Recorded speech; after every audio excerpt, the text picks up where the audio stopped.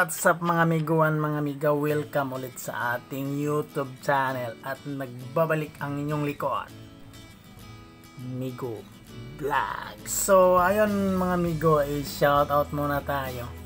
Uh, shout out kay Migo GR Vergara at sa kay Madam Mirasol Makumpas or Jimay Makumpas at sa kay shout out sa iyo Nance Drew Until uh, YouTube channel at sa kay Migo Birhel Padonya Natad. At sa kay shout out sa iyo Madam Catherine Kahoy. At sa kay Dodds Siras Umigo Siras. So ayun mga amigo uh, for this video is gagawa tayo ng isang DIY na 12 volts DC fan dili oh, So, ito ay magagamit natin sa mga uh, ginagawa nating mga DIY na uh, fish tanner. Hmm. Itong ganitong klase ng mga fish. Oh. Ah. Ito. Ito, ito.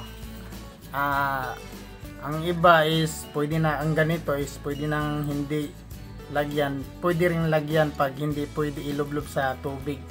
Para itong uh, heatsink niya ay hindi masyadong mainit. Uh, lagyan natin ng uh, uh, fan dili. So gagawa tayo.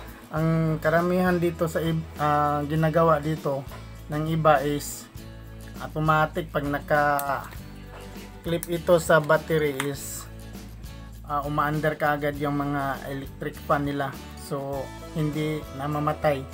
So ngayon gagawa tayo ng isang uh, dili na pag pinindot mo ng ganito ganyan isang pindutan lang uh, mayroon siyang aandar siya mga uh, 20 seconds siguro. Tsaka pag hindi mo na ipinindot ulit is kusa siyang mamamatay. So yan mga amigo So bago ang lahat mga amigo, intro muna tayo.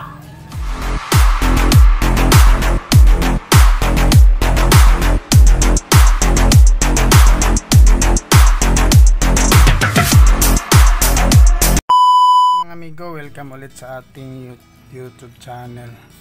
Uh, first nating uh, gagawin mga amigo is uh, gagawa muna tayo ng isang schematic diagram para sa ating uh, DIY 12 volts DC fan relay so ito na mga amigo. Isang MOSFET. Ah, ito. Itong sa una is GIP ito is drain. Ito is source. Uh, 3205 IRF 3205 na MOSFET mga amigo. So itong sa gitna uh, ito yung uh, example electric pa natin. Or ilaw. Ito. ilaw na lang para madali. Dito. Ito yung negative to yung positive. Itong sa gitna is dito. Ito nga. Sa itong positive is positive to ng battery. From battery. So ang dito sa source is may naka filter na resistor. Ito yung positive lang. Isang resistor na at saka isang kapasitor. Kapasitor ito yung positive. Ito yung negative. So ito ay negative from battery. Ito kapasitor na ito is dito is positive. Dito is negative uh, 330 UF 50 volts. Ito is resistor na ito is 300 ah, 330 k so ayan lang mga amigo ito is para sa, sa, sa kanyang switch. Nangyari ito yung switch natin. Switch natin So, ang kakailanganin natin mga amigo is ito lang. Isang MOSFET na RIF 3 to 05 focus ba? Ay mag-focus ka naman. 3 to 05 ito. At saka isang resistor na 330 key saka isang kapasitor na 330 UF 50 volts. Ito yung negative mga amigo itong may guhit dito. Saka dito yung positive. At saka yung electric fan natin na 12 volts DC ito mga amigo. So, so umpisahan na natin mga amigo. Install. Madali lang to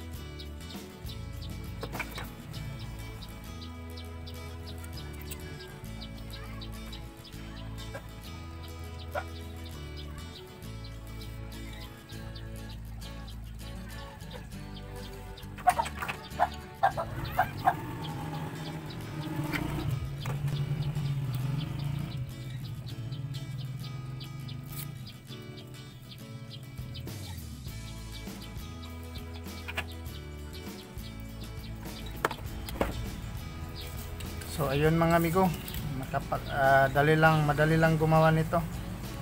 Ito tapos na natin ginawa. Oh, to. Ito 'yun mga amigo. Ah, tatlong piraso lang na ano. Yesa. Ito, saka ito, resistor, saka kapasitor. So, try natin mga amigo kung ah, gumagana ba yung gawa natin. So, mayroon tayong battery. Battery. So, ito is ito negative. Supply ng negative. Ito. Connect natin dito.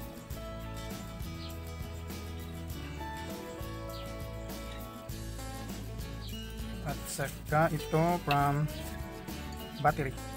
Saan ba yung flip natin? Ito. Positive ng battery. Ito. Flip natin dyan. At saka ito dito is negative from battery. Ito. Flip natin dyan. Yun. So ito mga amigo is flip natin dito. Kunyari ito yung switch natin Ibig natin yan. Saka dito na. Hmm. So, ito na mga amigo. Try natin. Switch dito. La, supplyan natin ng 12 volts na positive. O aandar ba ito? Ayun. Umaandar na amigo. Oh. oh umaandar. Teka.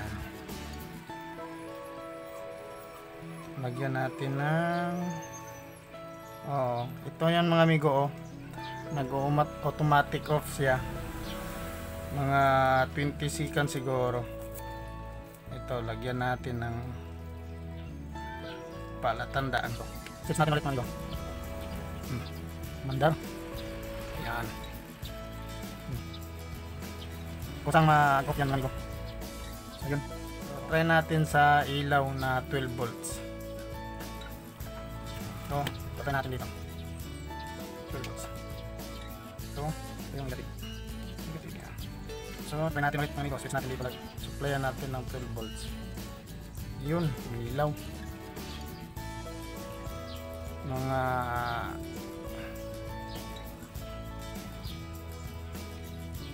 Twenty seconds siguro to. Kung gusto nyo ng mas matagal ma mapatay mag off sa mga amigo is itong kapasitor, kapasitor na to is ah, palitan lang natin ng 1000 UF itong kapasitor na to. Palitan lang natin ng 1000 UF o ah, 50 volts or 16 volts 1000 UF siguro aabot siguro ng mga 50 seconds siguro. Ah, so try natin mga amigo. Meron akong ginawa dito ito ito. Ito yung ano 1000 UF 16 volts. So try natin dito. Kung ilang seconds ba mag off yung ilaw niya. So ito. Tanggalin. Tanggalin so ito yung gagamitin natin. Supply 12 volts negative dito. Dyan negative dito. So try natin supply ng positive mga amigo. 12 volts dito. Kung ilang ilang seconds ba? Ito. Ilang seconds yung tagal niya bago mag off ito. So 1 2 3 go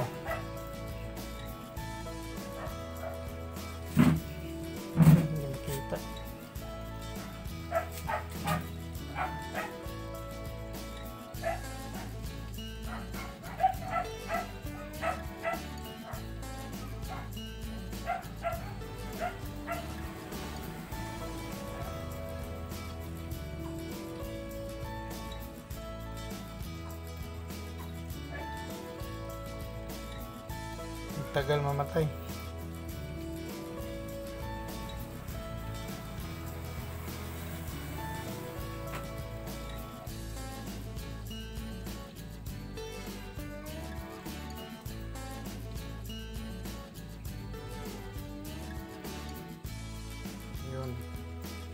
Siguro mga 50 seconds mga amigo so ayun lang mga amigo Ah, maraming salamat sa panonood. Kung mayroon kayong tanong sa ah, about sa paggawa nito mga amigo is ah, comment nyo lang sa comment section. Baka mayroon tayong maitutulong sa inyo. So maraming salamat mga amigo So ayan mga amigo, ah, tapos na natin gawin yung isang DIY na ah, 12 volts ah, DC fan dili para sa ating ah, pistaner. Gamit natin yan mga amigo. So ayun mga amigo, kung bago ka pa lang sa ating YouTube channel at kung ikaw ay napadaan lang sa ating YouTube channel, ah, baka naman makahingi ng isang ah, like, share, and subscribe. At don't forget na rin mga amigo sa pagpindot ng notification bell para lagi kang update sa ating videos na gagawin. So, God bless.